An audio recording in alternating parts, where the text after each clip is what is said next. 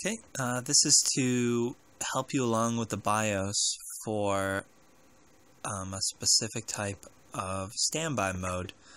And uh, I'm just making this video because it's a little complicated and um, I was actually wrong. Uh, uh, when you reset to default, which your motherboard probably was at, um, it will put it into uh, it's called a suspend mode. That's what the BIOS calls the the sleep. And uh, by default, it puts it into sleep mode one. So um, I'm going to show you how to change that. So I got this computer that's just freshly built, and I only noticed this because I went to go sleep it uh, when I reset to default, and it didn't shut the lights off. So I'm just going to show you. So this is the monitor hooked up to that one. And when I go down and I hit sleep, the computer has a flashing light.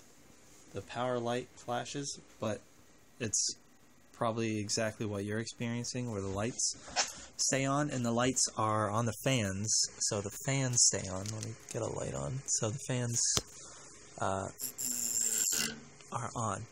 So I'm going to show you how to have it sleep in the right sleep mode that you want. So I'm just going to wake the computer back up.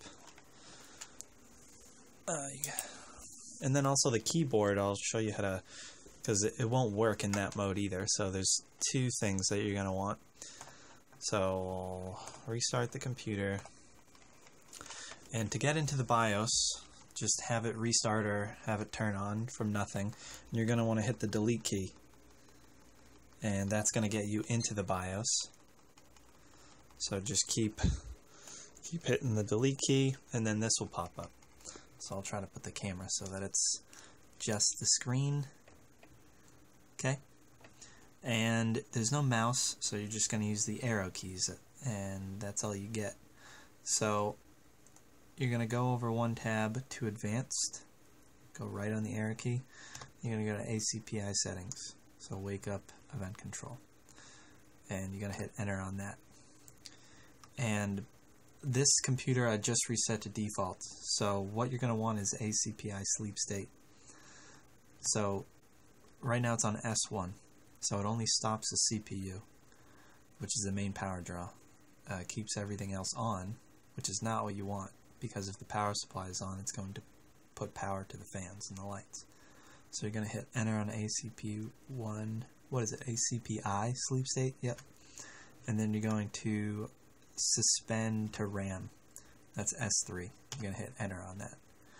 Now another thing I noticed is I couldn't wake it with the keyboard and the keyboard's via USB. So that's uh, an option. So you're going to go down to USB device wake up S3 to S4 and it's disabled by default. I don't know why. The best is S3 and with USB, but anyway, we're going to manually change this. So USB device wake up from S3 and S4, hit enter on that and you're going to want to enable that and that's going to make it so that you can wake the computer from a USB device, such as a wireless keyboard or mouse, or just a USB. So, um, once that's changed, you're going to hit escape on the keyboard. That'll bring you back to the page up, and then you're going to go over a couple times to save and exit, and you're going to go down to save changes and reset and then just hit enter twice. It'll ask you with a pop-up. um, so now it'll save the changes into the BIOS and restart the computer and it will go right back into its normal boot loop. Search for the SSD with Windows on it. This will go by super quick and then it'll get into Windows. And I'll show you that it will sleep the way you want it to sleep. So we'll get into this and we'll go back down here and we'll hit sleep and then you'll see that the lights will shut off and the fans will shut off. I'll even show you how to customize this light in the front here because if you want to have this completely off, uh, it's literally just a power plug on the inside. Oh, let me get a let me get a light on that. Um, so all the fans are off. It's totally off. And um, totally optional if you want to take off that light. You're going to go to the motherboard. And then you're going to go down. Let me get a good light on this.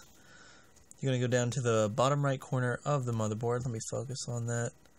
And then I'll zoom in. So there's all these plugs. The power LED plug is next to the speaker. And this is totally optional, by the way. And then you're just going to unplug the green and white from the motherboard. That's it. That's just a power plug. So the light will be off. It'll be totally dark. But you'll be able to start it back up with the keyboard. So if I do this, you'll see it turn back on, and it'll wake from a sleep. Okay, that's uh, pretty much everything you need to know about that specific computer and motherboard and how to customize the sleep state. So this should be exactly what you need.